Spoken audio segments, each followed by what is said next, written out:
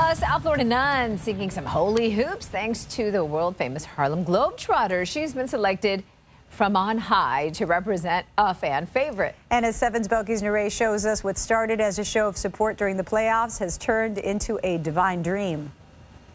Watch out! The basketball court is about to get holy. Harlem Globetrotters are going to draft for the first time ever a sister, a nun. Not just any nun, South Florida's very own Chainsaw Nun from Archbishop Coleman Carroll High School in southwest Miami Dade. It's an honor, a true honor, to be a part of the Harlem Globetrotters and a part of their mission. Sister Margaret Ann scoring major points with the Harlem Globetrotters, becoming the first nun to be drafted by the world famous basketball team. Sister Margaret Ann obviously became world famous, if you will, just like the Harlem Globetrotters.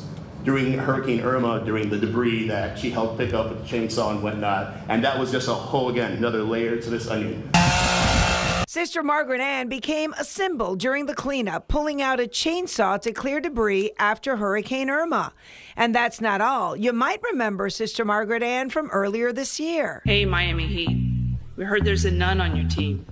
Pretty good. In September, she and the other sisters from the high school showed us their basketball skills while showing support for the Miami Heat and fellow nun Kendrick Nunn. The sisters also went viral after being captured on ESPN in the virtual seats section. So when it came down to the Globetrotters drafting their picks, it was a no-brainer. And the Harlem Globetrotters look for these type of people in their players, and they look for it in their honorary picks. And Sister Margaret Ann and the rest of the sisters are exactly who you want to pick when it comes to that type of uh, description. Especially to Sister Margaret Ann, who has the game in her blood.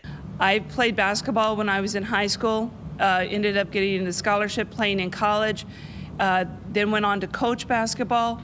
And I just see basketball as an exciting way of helping young people to grow.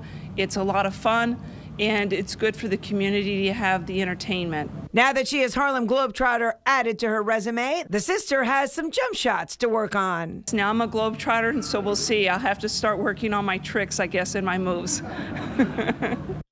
I'm Belkys Nerey, today in Florida. Sister Margaret will be honored during the Globetrotters' next game in Miami.